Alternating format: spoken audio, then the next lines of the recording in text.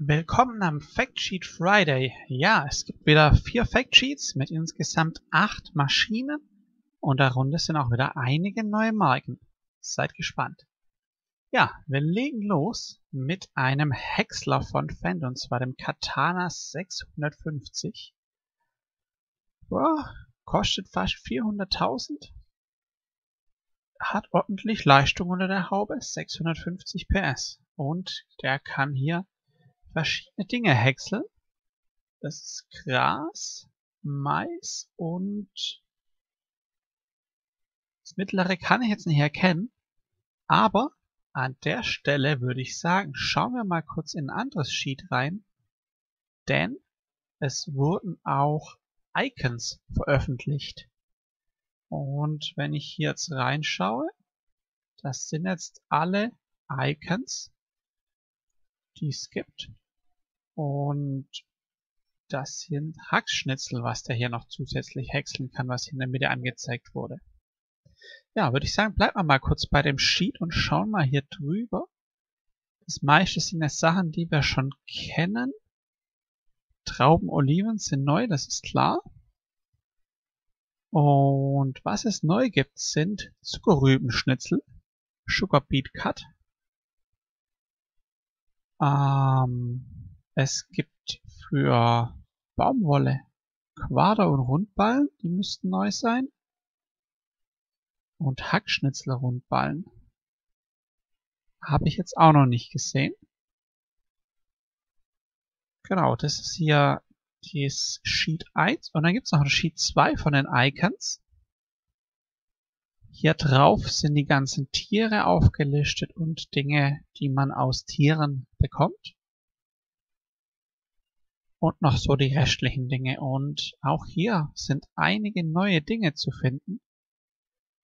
Unter anderem gibt's ja elektrische Ladung, Schnee und Streusalz, das ist klar.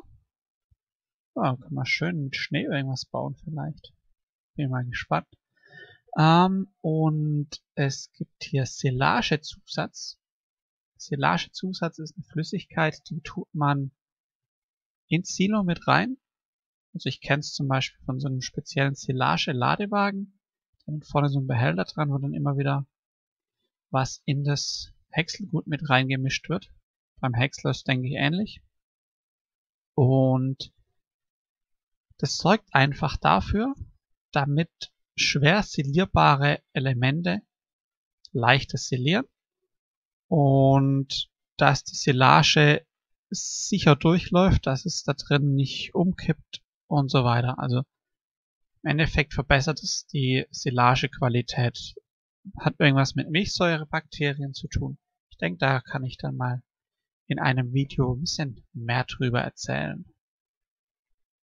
Ähm, Konzentrat. Keine Ahnung, was das genau ist. Futterkonzentrat. Ist auf alle Fälle auch neu. Und wir haben auf alle Fälle in der Ecke unten noch drei Pünktchen. Das heißt, es gibt auf alle Fälle noch mehr. Eins kann ich schon vorwegnehmen. Es gibt auch Gas. Methangas. Das habe ich schon gesehen in den Factsheets. Da kommen wir dann auch noch gleich dazu. Aber wir machen hier mal weiter mit dem Anbau, was an dem Fan vorne dran ist. Von Camper ein 7,5 Meter Schneidwerk. Ja, kostet glatte 100.000.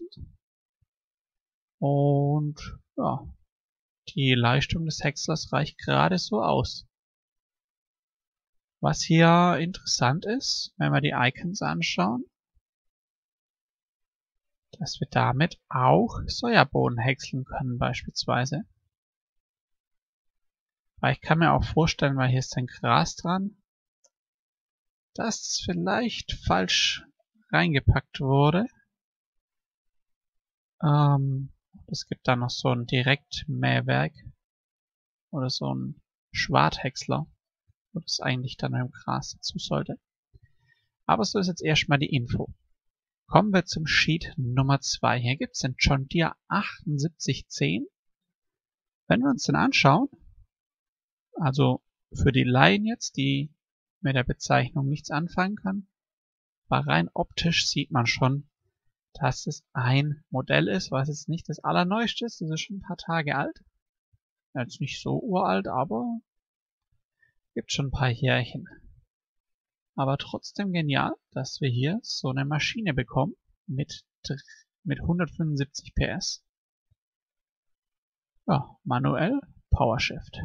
Auch wieder Preis 100.000.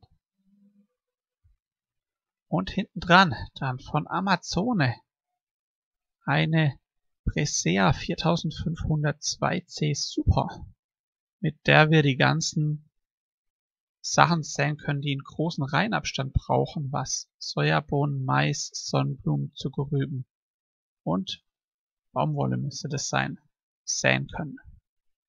Natürlich in der Kombination, dass wir direkt auch Dünger mit den Booten legen können. Ja. Passende Kombi, braucht 150 PS. Dann kommen wir auch schon zu Factsheet Nummer 3, wo wir direkt wieder zwei neue Marken sehen, beziehungsweise zumindest eine. Ähm, fangen wir mit dem unteren an. Von Schäfer ein Teleskoplader, um hier die Biogasanlage in dem Beispiel zu befüllen. 130.000 kostet er, hat 204 PS. Ja. So, Marken werden immer mehr. Freut mich. Da haben wir eine riesen Auswahl, mit der wir arbeiten können. Und dann kommen wir zu der Biogasanlage. 99 kW Anlage kostet 435.000. Man kann da ziemlich viel Zeugs reinfüllen. Häckselgut, mischt. Und obwohl ich die Icons gesehen habe. Ah, Zugerübenschnitzel ist das letzte. Genau. Und wir bekommen hier elektrische Energie, Methan und Biomasse raus. Also Biomasse, was wir in Form von Gülle aufs Feld fahren können. Und der ein oder andere kennt es vielleicht. Es gibt ja elektrische Gabelstapler und Gabelstapler, die mit Gas funktionieren. Garantiert sind die zwei Sachen dafür. Und jetzt gerade mit der ganzen Production Line brauchen wir auch mehr Gabelstapler, um die Paletten von A nach B zu fahren. Und da ist es was, was sich bestimmt gut verkaufen lässt. Ja, kurz zu der Marke Plan ET. Ähm, meines Wissens stellen die keine Biogasanlagen komplett her. Falls ich da jetzt falsch liege, korrigiert, korrigiert mich gerne. Ähm, Plan ET ist eine Organisation, die allgemein so ein bisschen auf erneuerbare Energien geht und da ja, Angebote ausarbeitet und Planungen durchführt im Rahmen des der ganzen erneuerbaren Energienförderung und so weiter.